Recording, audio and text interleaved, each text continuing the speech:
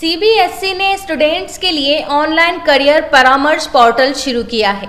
इससे विद्यार्थियों को भारत समेत 15 देशों के कॉलेजों के पाठ्यक्रम, वहाँ की स्कॉलरशिप योजनाओं के बारे में जानकारी मिल सकेगी।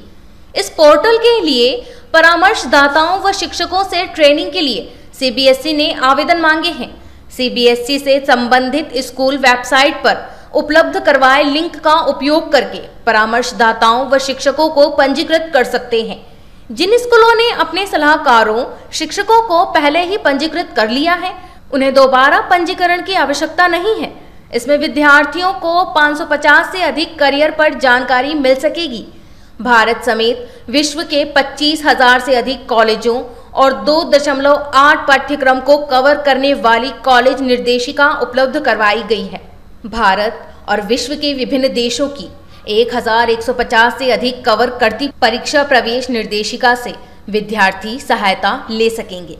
देश विदेश के 1200 से अधिक छात्रवृत्ति निर्देशिका भी स्टूडेंट्स के लिए मददगार साबित होंगी। सफलता में मदद के लिए सूचनात्मक ब्लॉक भी उपलब्ध करवाए गए हैं। सीबीएसई की दसवीं व बारहवीं के स्टूडेंट्स के लिए महत्वपूर्ण खबर है।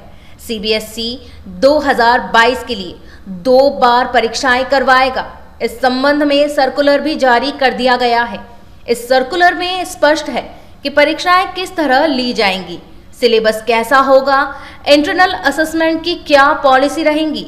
वर्ष 2021 में कोरोना की दूसरी लहर के कारण सीबीएसई 10वीं 12वीं की परीक्षाएँ रद्द करनी पड़ी थी।